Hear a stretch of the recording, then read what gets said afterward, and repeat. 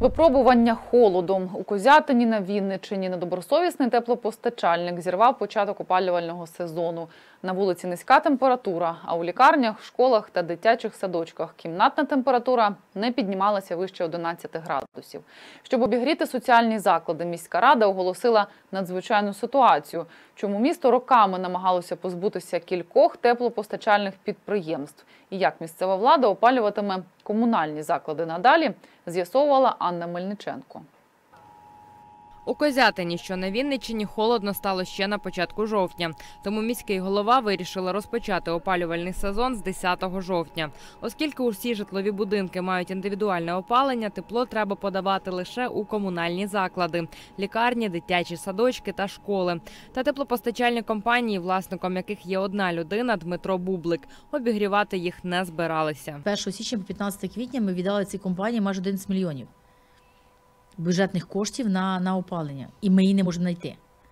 Кримінальні справи не вручено, ми нічого не можемо знайти. Ми маємо якусь фірму, якій ми перераховуємо бюджетні кошти. І це колосальні ризики, бо тому що вони затопили е, 10 жовтня, потім затопили 15 жовтня, то вони затоплять і 1 січня. Вінниця теплоенерго, Вінницькі теплові мережі та Вінниця облтеплоенерго працювали в Козятині ще за минулої влади. Перед закінченням своєї каденції міський голова Олександр Пузир продовжив термін дії договору з постачальником аж до грудня 2022 року.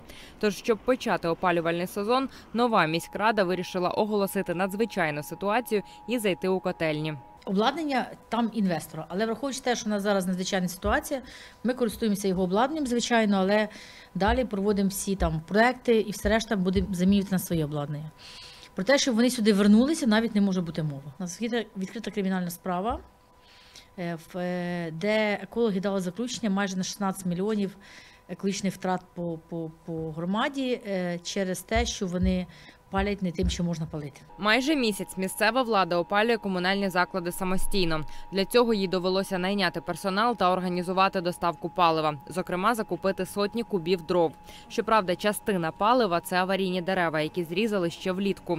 Обладнання, що належить підряднику, влада обіцяє повернути за кілька місяців. Нас пустили в одну котельню міста Козятина. Раніше це приміщення разом з обладнанням здавалося в оренду приватному підприємству, яке повинно було опалювати місто.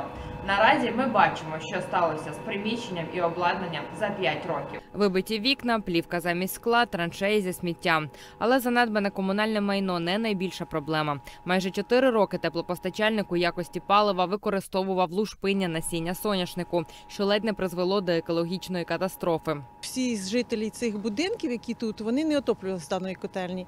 Але ми змушені були терпіти димову завісу, сморід, е, летіння сажі, яка потрапляла не тільки в легені, а й в очі, які не можна було витягнути. Просто так потрібно було звертатися е, до медичних закладів. Козятинці неодноразово скаржились на екологію, виходили на пікети, зверталися до відповідних служб, але нічого не змінювалось. Посадовці екологічної служби перевірили котельні лише після відкриття кримінальної справи щодо теплопостачальника. Дякувати сьогодні. Ми маємо чисте повітря. Ми можемо спокійно гуляти. Ми можемо е, навіть деякі можуть сушити більйо, тому що це ж теж було обмежено. Не могли люди навіть це зробити для своїх будинків, для своїх домів і для своїх сімей. Керівник місцевої лікарні називає власника теплопостачальних компаній монополістом. Скаржиться, серйозні конфлікти виникали з ним не раз. На наші звичайні прохання подати температуру відповідної якості, от, дотримувати санітарним нормам утилізації того шлаку, який на території після їхньої діяльності мав місце. От, та й взагалі просто налагодити нормальне порозуміння з представниками теплопостачальника це завжди була проблема. Проблема незрозуміла для нас. Тетяна Ярмолаєва каже, до судів з постачальниками готова, адже екологія надважливе питання міста. Крім того, тепер у Козятині опаленням буде займатися комунальне підприємство. В основу цього всього покладена енергоефективність.